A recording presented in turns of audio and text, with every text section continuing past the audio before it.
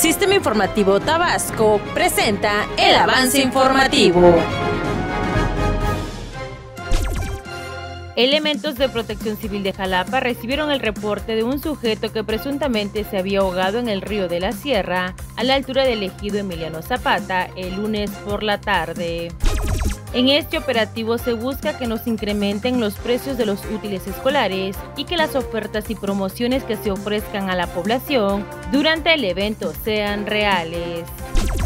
Durante los trabajos que realizan sobre la calle Francisco y Madero a la altura del Cine Sheva, encuentran objetos de la Villahermosa antigua. Según el pronóstico de la Comisión Nacional del Agua, para este martes se espera en Tabasco un ambiente muy caluroso a bochornoso, con temperaturas máximas de hasta 36 grados Celsius.